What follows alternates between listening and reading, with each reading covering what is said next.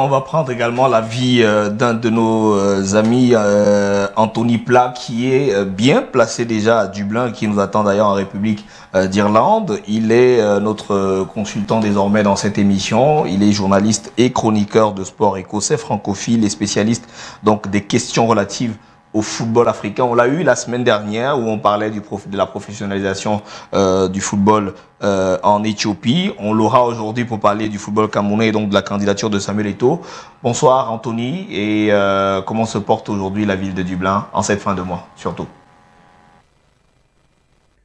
Bonsoir Steve, bonsoir à toutes et à tous et merci de m'accueillir. Bon, Dublin, je peux pas trop vous en parler parce que j'étais pas beaucoup ces derniers jours, malheureusement. Euh, finalement de, de la candidature de Samuel Eto'o. On en parlait déjà euh, depuis euh, quelques jours, depuis quelques quelques semaines, avec des rumeurs qui circulaient avec son retour naturellement de, de, de, Madagascar. comment est-ce que vous avez appris cette candidature qui a été finalement confirmée par le Goliador camerounais à la candidature de Samuel Eto'o, ça fait des mois qu'on en parle. On a vu beaucoup de rumeurs. Euh, j'en ai beaucoup parlé aussi sur des radios au Cameroun, à Douala notamment. Donc vous savez, c'est un sujet qui euh, défraye la chronique déjà depuis longtemps. Euh, personnellement, bon, on savait plus ou moins euh, qu'il allait annoncer sa candidature euh, durant la dernière trêve internationale. Il était dans l'avion qui raccompagnait les écureuils du Bénin depuis Madagascar entre les deux matchs éliminatoires. Et mon ami Hugues Zounon, que je salue au passage de l'ORTB, au Bénin, on a profité pour lui poser quelques questions. Donc euh, dans l'avion, il y avait des joueurs béninois qui prenaient des photos avec Samuel Eto'o. Et il lui a posé la question tout simplement euh, de savoir s'il allait se présenter euh, pour l'élection la FECA Foot. Il lui a répondu un oui catégorique. quand il lui a demandé si le fait d'être un binational allait poser problème, Samuel Eto'o lui a répondu que finalement il était camerounais. Si on regarde le code électoral et si on lit le code électoral de la FECA Foot, euh, il faut fournir une pièce d'identité camerounaise. Et après cela, euh, finalement, il a publié et Samuel Eto'o ainsi que ses représentants l'ont démenti parce qu'ils voulaient gérer et maîtriser leur communication, bien entendu. Il faut savoir qu'une élection, c'est de la politique en premier avant le sport. Euh, donc c'est plus difficile. Samuel Eto'o, lui, voulait certainement gérer sa communication et, et, son annonce pour la candidature. Donc il y a quelques semaines, on pouvait parler d'une intention de candidature tout simplement, mais euh, voilà, c'est pas surprenant. Moi, je trouve que c'est une bonne chose de voir des anciens joueurs, des légendes qui s'impliquent dans le football africain. Ensuite, reste à savoir quel sera le, projet et la façon dont il sera mis en place. Ouais, finalement, c'est une casquette qu'on ne lui connaissait pas beaucoup, est office euh, manager. On l'a connu certes comme euh, euh, un très très brillant et excellent footballeur. Mais quelle idée vous faites-vous aujourd'hui de Samuel Eto'o en tant que manager? Eto, le footballeur, c'est l'un des, plus grands joueurs que la, planète foot n'ait jamais connu. Euh, l'un des plus grands joueurs du continent africain. Donc le, footballeur, on, le connaît tous, on l'admire, on l'adore. Euh, Samuel Eto, président de la FECA Foot, c'est encore une fois autre chose. C'est, pas le même domaine. C'est comme si, vous savez, vous avez des anciens joueurs qui deviennent entraîneurs, ça marche pas toujours. Euh, c'est pas un gage de réussite. Même dans nos métiers, hein, je veux dire, je commande beaucoup de matchs et souvent chaque année on doit faire travailler des consultants qui souvent sont des anciens joueurs professionnels ou des anciens coachs et c'est pas parce qu'ils ont été anciens joueurs qu'ils euh, sont forcément très bons analystes ou très bons consultants aussi.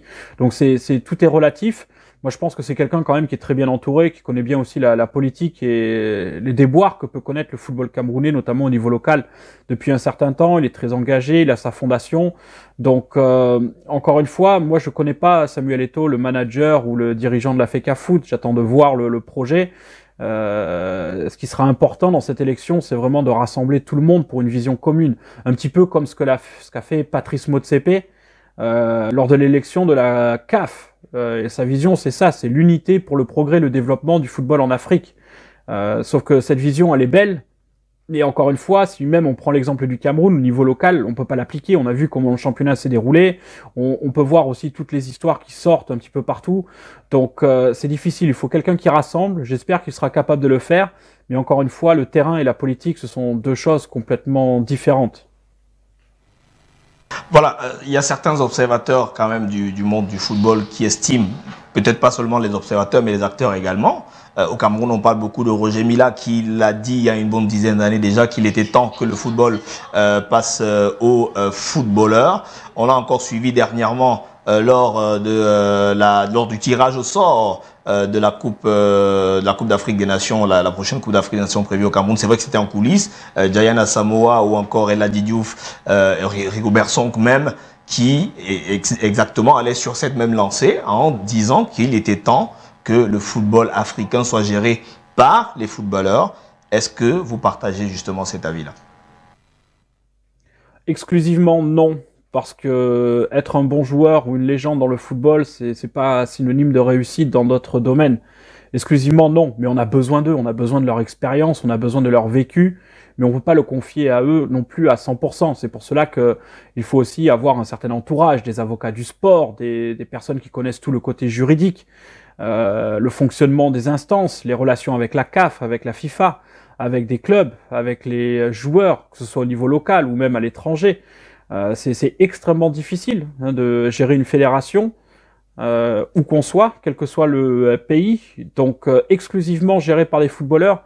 Non, je suis pas d'accord parce qu'on peut voir même dans des grands clubs européens, souvent les anciens joueurs viennent mettre un petit peu le bazar dans les affaires du club, ça crée des polémiques, ça pose aussi des problèmes, ça peut, ça peut gêner l'ambiance qu'il peut y avoir dans le vestiaire. Donc, exclusivement, non, mais on a forcément besoin d'eux. On dépend des footballeurs et de leur expérience pour apporter le progrès et le développement de notre football au niveau euh, local. Mais à côté, il faut quand même qu'ils soient très bien entourés. Donc il faut des agents aussi de communication pour bien vendre le football camerounais. Il faut des avocats.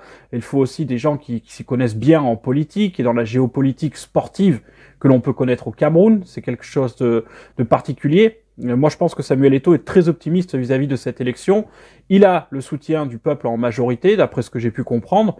Euh, derrière ça, euh, ça reste encore une fois un, titre spécial et gérer une fédération, c'est extrêmement difficile.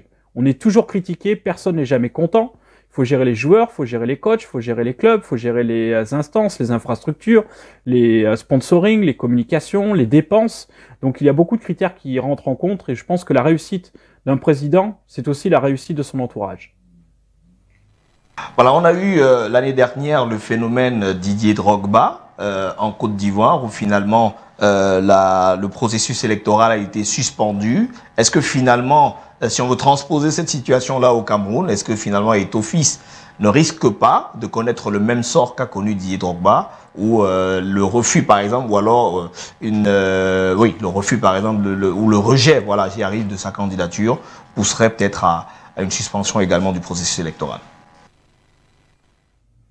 Non, mais bien sûr, ce sont des candidats, Drogba, Eto, qui sont toujours des aimants d'une certaine façon pour euh, l'adversité ou pour les critiques. Le problème, ce qui s'est passé avec Didier Drogba en Côte d'Ivoire, c'est pas forcément comparable dans le sens où euh, il y avait beaucoup de contradictions dans le code électoral de la fédération ivoirienne et la fédération s'est pris un comité de normalisation de la FIFA, comme beaucoup en Afrique. Hein. Regardez les dernières élections aux Comores, euh, en Guinée aussi qui vont qui vont arriver, ou encore en Égypte. Tout le monde se prend des comités de normalisation, donc euh, il faut voilà, il faut quand même regarder les textes, il faut quand même suivre toutes ces choses. Je pense que nous, en tant que médias, notre travail, ce sera aussi d'éviter euh, toutes ces, manœuvres politiques, parce que la politique, ça reste quand même une, une bagarre. Une élection, c'est aussi un combat. Donc, euh, s'il y a un projet qui est viable et quelqu'un qui est capable de, rassembler, il faudra qu'on soit capable aussi de le soutenir. Mais si derrière il y a des histoires un petit peu louches comme on peut en avoir, ça, ça peut se compliquer. Et moi, ce que j'ai peur quand même, c'est que, euh, voilà, bon, sa candidature, elle est là. Et je veux dire, comme tout le monde, il est éligible, il peut se présenter, il n'y a absolument aucun problème là-dessus. Après, ses ennemis vont certainement tenter des manœuvres. Ses rivaux vont tenter des manœuvres aussi. C'est là encore une fois que l'entourage est extrêmement important. Et derrière ça, moi j'ai peur que si l'élection n'arrive pas à terme, le, Cameroun, qui organise la prochaine Coupe d'Afrique des Nations, risque d'avoir un comité de normalisation de la FIFA aussi. J'aimerais qu'on l'évite et j'espère vraiment du fond du cœur que cette élection se déroulera dans de bonnes conditions et qu'on pourra retrouver un football camerounais uni derrière ses joueurs au niveau local, derrière son équipe nationale, que ce soit masculine ou féminine. On voit de très belles choses qui sont réalisées aussi du côté du, football féminin avec le sponsor Guinness par exemple. Donc euh, c'est un tout, c'est un tout, c'est un travail d'équipe. Euh, quand on lâchera nos intérêts personnels et nos égaux, je pense qu'on pourra aller de l'avant, comme c'est le cas dans d'autres pays. Mais, mais ça reste une élection. Moi, du fond du cœur, j'espère que ça va bien se passer. Mais derrière, on n'est pas à l'abri, encore une fois, d'une histoire ou de quelque chose qui pousserait la FIFA à nommer un comité de normalisation, malheureusement. Euh, en tout cas, merci Anthony. Euh, merci d'avoir accepté une fois de plus de répondre à, nos questions. On espère que euh, lundi prochain, vous serez encore des nôtres. Merci à vous et on pourra aborder d'autres sujets très intéressants dans le sport business, le foot business aussi, notamment en Afrique puisque les choses évoluent très rapidement. Donc, je vous souhaite à toutes et à tous une excellente soirée et encore merci beaucoup. Voilà, merci. Euh, les gars, on vient de, suivre donc euh, Anthony Plat qui a une, euh, une lecture assez succincte et aiguisée justement de, la situation du football africain. Peut-être André, comment Peut-être il faut revenir parce que on a une situation au Cameroun. Anthony parlait tout à l'heure du vote populaire, enfin pas du vote populaire, de la popularité de Samuel Eto'o, mais il faut bien expliquer aux gens que la popularité de Samuel Eto'o ne suffit pas parce qu'il faudra, une fois de plus, euh, convaincre et les présidents des clubs et euh, les, euh, les, les, enfin, ce sont les présidents de clubs et les, délégués de ligue qui sont les, principaux votants à une élection à l'Afrique Foot.